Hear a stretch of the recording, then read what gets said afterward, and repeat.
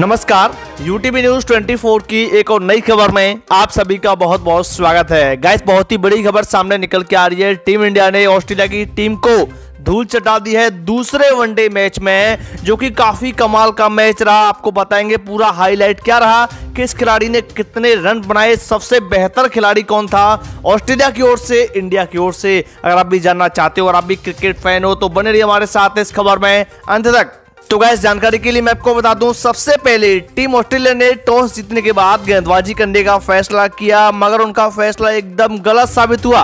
क्योंकि यहाँ पे टीम इंडिया की ओर से सबसे पहले बैटिंग गिनाई रोहित शर्मा के साथ शिखर धवन ने आतिशबाजी, पारी खेल डाली और कमाल कर दिया। रोहित शर्मा यहाँ पे 44 गेंदों में बालीस रन बनाकर एलबीडब्ल्यू आउट हो गए भले ही। उसके बाद मगर शिखर धवन ने तो कमाल ही कर दिया और शिखर धवन ने नब्बे गेंदों में छियानवे रन की पारी खेल डाली। वो तो चौका लग से अपना शतक पूरा करना चाहते थे, मगर आउट हो गए कैच। दे बैठे मिचिल स्टार्क को और उसके बाद तीसरे नंबर पे कैप्टन विराट कोहली खेलने आए, जिन्होंने भी बहुत करनी पाली खेली। छिहत्तर गेंदों में अठहत्तर रन बना दिए। उसके बाद तो केएल राहुल ने तबाही मचा दी और बावन गेंदों में अस्सी रन की एक तूफानी पारी खेल डाली और इस वजह से टीम इंडिया का स्कोर हो गया था पूरे पचास ओवर में छह विकेट के नुकसान से 340 रन। और इस स्कोर का पीछा करने उतरी टीम ऑस्ट्रेलिया ने, ज़्यादा कुछ कमाल नहीं कर पाया और इस मैच को हार गई। सबसे पहले तो वार्नर के साथ फिंच बैटिंग में आए तो पहले की तरह शतक नहीं लगा पाए और 15 गेंदों में वार्नर आउट होकर पवेलियन लौट गए। मोहम्मद समीर उनको पवेलियन लौटा दिया।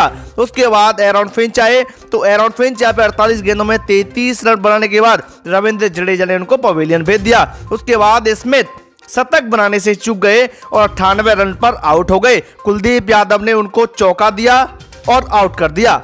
और उसके बाद कोई भी खिलाड़ी टिक नहीं सका। भारतीय गेंदबाजों के सामने और ओनली 304 रन पर पूरे 10 विकेट गिर चुके और पाँच बॉल बाकी भी रह गई थी। आप याद करिए, पहले टीम इंडिया की पाँच बॉल बाकी रह गई थी, पूरे ओवर नहीं खेल पाई थी और यहाँ पे अब पाँच बॉल बाकी ऑस्ट्रेलिया की रह गई थी। तो पूरा जवाब दे दिया है भारतीय टीम ने कि हम भी किसी से कम नहीं है। और यहाँ पे टीम इंडिया की ओर से सबसे ज़्यादा विकेट निकाले मोहम्मद समी ने, जो की लगातार दो विकेट निकाले थे, उसके बाद तीसरी विकेट लगाने वाले थे हैट्रिक लगाने वाले थे, मगर वो तो हैट्रिक नहीं लग पाई। और उसके बाद यहाँ पे जो कुलदीप यादव है, इन्होंने भी लगातार दो विकेट लिए हैं तो काफ़ी खतरनाक गेंदबाज है ये दोनों।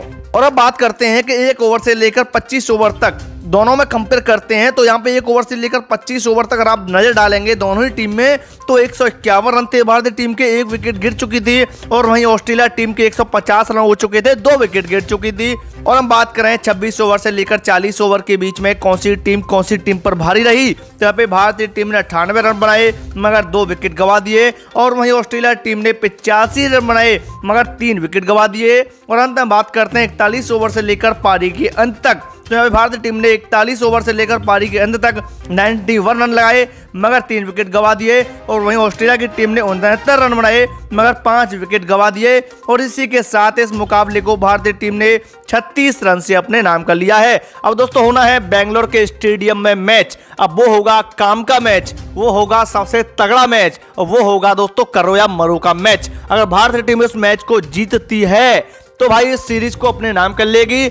मगर ऑस्ट्रेलिया की टीम भी कम नहीं है। अब देखने में बहुत ही इंटरेस्टिंग होने वाला है कि कौन सा पहलवान जीतता है। दोनों पहलवान बहुत टक्कर के हैं। दोस्तों आप नीचे कमेंट करके ज़रूर से बताना कि भाई कौन सी टीम आने वाले मैच को जीतने वाली है। तो गाइस ऐसी खबरों के साथ बने रहने के लिए इस चैनल को सब्सक्राइब कर लीजिए बेल आइकन भी दबा लीजिए क्योंकि यहाँ पे आपको पर डे ऐसी इंटरेस्टिंग वीडियो मिलती रहती है। और इस वीडियो को ज़्यादा से ज़्यादा लाइक करिए अगर आप भी क्रिकेट टीम इंडिया को जिताना चाहते हो तो, तो फ़िलहाल इस खबर में इतने था। मिलते हैं आपसे कुछ ऐसी खबर के साथ। तब तक के लिए अपना ख्याल रखिए देखते रहिए यू टीवी न्यूज़ ट्वेंटी